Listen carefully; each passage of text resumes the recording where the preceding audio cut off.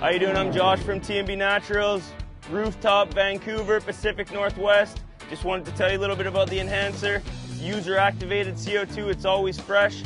Once you're ready to go, unscrew the lid, add one liter of lukewarm water, screw the lid back on, rip the sticker off, cover the little pinhole, give the bottle a quick shake. Lasts for about two and a half to three weeks. One bottle is good for up to a 12 by 12 area. Anything bigger than that, just supplement it with the second bottle.